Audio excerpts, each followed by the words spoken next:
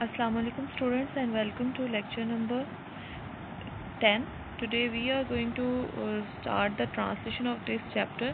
अगर हम लोग प्रीवियस लेक्चर की बात करते हैं तो प्रीवियस लेक्चर में हम लोगों ने इसके लर्निंग आउटकम्स के ऊपर डिस्कस किया था। इसके इस चैप्टर को पढ़ने के जो है हमें कौन मतलब पढ़ने के बाद हम कौन कौन से आउटकम्स जो हैं उसके होंगे स्टूडेंट्स के लिए।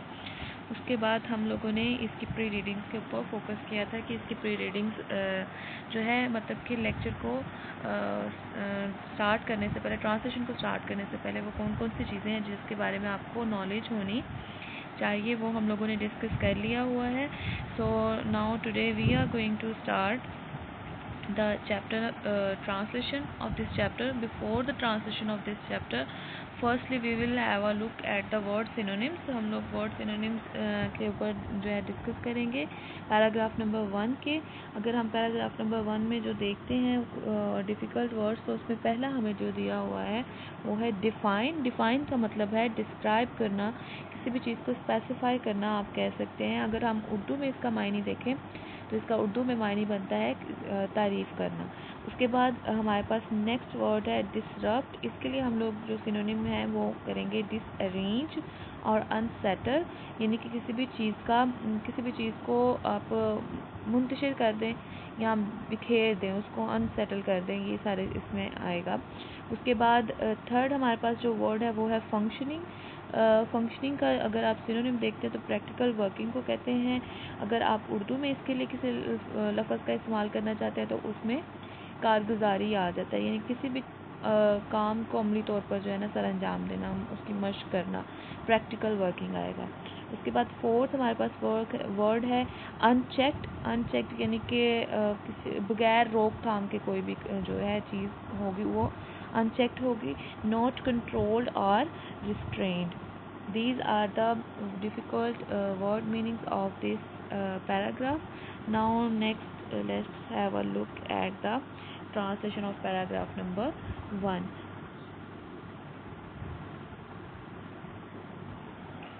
okay, the first paragraph is, noise pollution is defined. Noise pollution की अगर हम तारीफ़ करते हैं तो एनी फॉर्म ऑफ़ नॉइस शोर की कोई भी ऐसी सूरत दैट डिसरप्ट जो ख़राब कर देती है, या हम लोगों ने इसका जो मीनिंग पढ़ा था, मुंतशिर कर देना था, लेकिन यहाँ पर आप इसको ख़राब कर देने के मीनिंग में पढ़ सकते हैं। The normal functioning of life आपकी मामूल की ज़िंदगी को, मामूल की ज़िंदगी की कारगुजारी को, यानी कि आप एक नॉर्मल लाइफ में, एक आम ज़िंदगी में, जो भी कोई भी काम कर रहे होते हैं, कोई भी अमली मशक कर रहे होते हैं, अगर उसको जो है ख़राब कर दे कोई भी सूरत, शोर की सूरत, उसको हम क्या कहेंगे? नॉइस पोल्यूशन कहेंगे। अगर हम इसका बामहावरा तर्जमा करते हैं तो होगा शोर की आलूदगी से मुराद, आवाज़ की हर ऐसी सूरत है जो ज़िंदगी के मामूल की कार गुजारी को ख़राब कर देती है। इफ़ लेफ़्ट अनचेक्ड अगर हम इसकी, इसको जो है बगैर रोक थाम के ऐसे ही जाने दें, रोका ना जाए it can have serious effects तो इसके बहुत बुरे असरात मुरतब हो सकते हैं ऑन माइंड दिमाग पर and the body of human और इंसानी जिसम पर।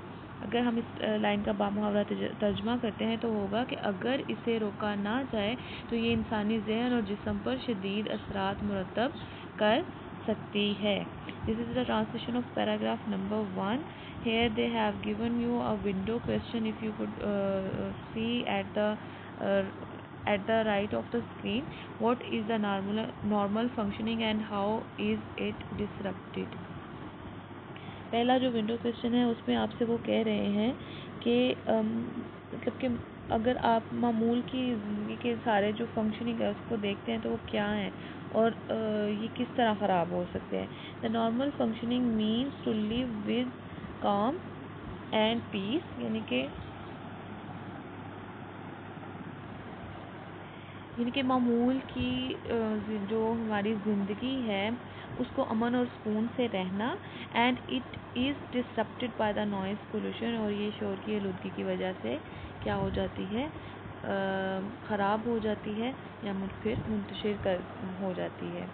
This was the lecture number ten inshallah in the next lecture we will discuss about the other window question. Your task is, you are going to take help from the sunshine the way I told you आपने इसी तरह जो है तमाम paragraph की translation को learn कर लेना है।